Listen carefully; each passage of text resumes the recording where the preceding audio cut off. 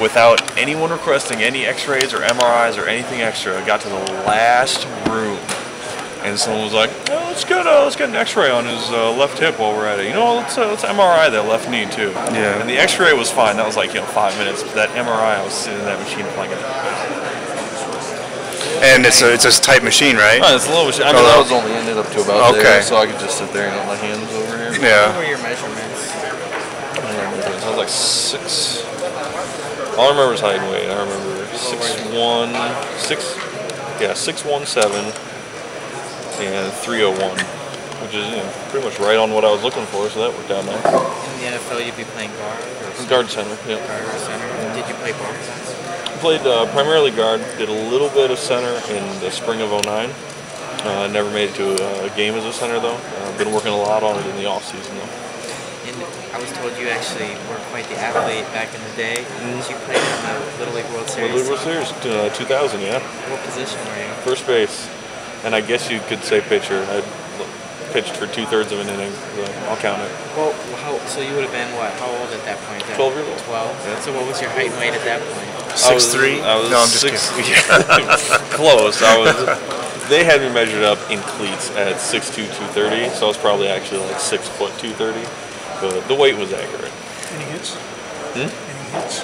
Home run, couple of hits. yeah. You had a I was the run? slugger on the team, so When you also wrestled and did track, I mean, football, obviously that's where all the money is, but did you ever have a passion for any of those other sports, or football was always number one for you?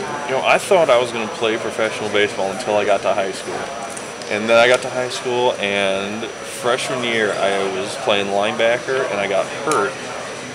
And when I came back, I gained like 60 pounds or something, you know. Like, talk about the freshman 15 in college. No, I just put it all on in high school and all at once while I was injured.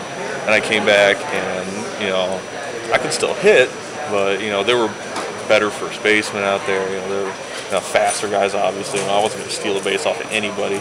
So, you know, I started playing football, and over the next three or four years, just fell in love with it. What did you get up to weight-wise then? When you put 60 on, what were you? When I put on 60, I was only up uh, around probably 290. But uh, when I left high school, I was 325. And I got to Iowa, and they actually dropped me 30 pounds in the first two weeks. Yeah. My girlfriend wants that weight loss program real bad. But Don't print that. yeah, don't print that. Don't print that. She will kill me for that one. Cecil Phillips in 300 pound. Really? Baseball, yeah. Did you still, Maybe I'll give it a shot someday. do you still have a love for baseball? Do you still watch it? I mean, I know there's no professional teams in Iowa. Right. Uh, a little bit. You know, I'll go to a game if I'm invited. Um, I'll watch it if the White Sox are playing. But That's you know, aside team? from that, yeah, I've never really, you know, I've never gone back that direction. No. Were you a White better Sox are singer? your team. You know, White Sox, Southside, that's where it is. Were you a better singer better baseball player? I'm gonna say a better singer just because I'm still doing that.